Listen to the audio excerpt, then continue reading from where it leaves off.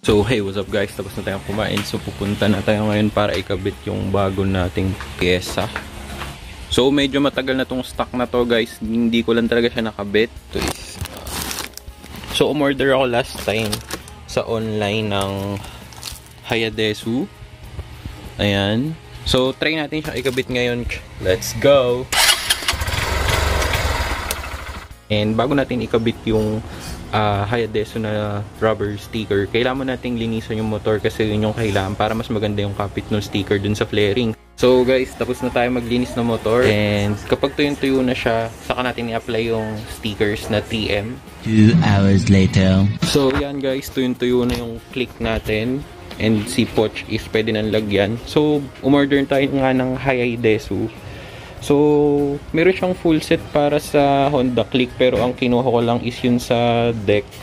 Tsaka yung sa deck yung sa sides, kabilaan. So, ang kinuha natin is kulay gray pero marami silang variants. So, ayan siya. And ito yung sinasabi ko. Oh, di makita. Yan. Ito yung tamang instructions. So, marami pa sila niyan. Meron sila sa Aerox, sa Airblade, sa ADV, and marami pa. So ikabit na natin siya guys. Let's so go. yan on the other side ayan nalapat na natin siya. So zoom natin ng konti. Ayan. Makita nyo yung texture niya. Para siyang carbon fiber. And malalaman mong high quality talaga siya kasi lahat is separately nakadikit. So para siyang part of the flaring. Ang ganda. What's up guys? Huwag nyong intindihin yung nagkakaraoke enjoy nyo na lang So, hindi siya madaling ikabit. And,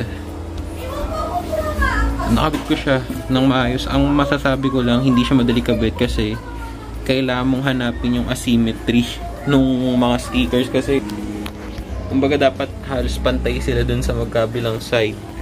And napansin ko lang, yung kung mapapansin nyo parang hindi siya diretso, no? So, bibigyan ko yan ng time kasi feeling ko yung glue sa likod yung nagbabako-bako ng mga lines. Ayan o. Oh. Kita nyo yan. Pero ito maayos eh. Ayan o. Oh. Anyway, bibigyan ko siya ng 2 days and babalitaan ko kayo. Pero as of now, ayan yung final outlook niya.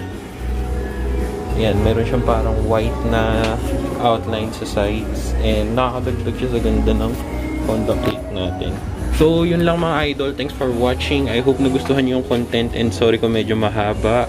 And sana nag-enjoy kayo. So, see you on the next video guys.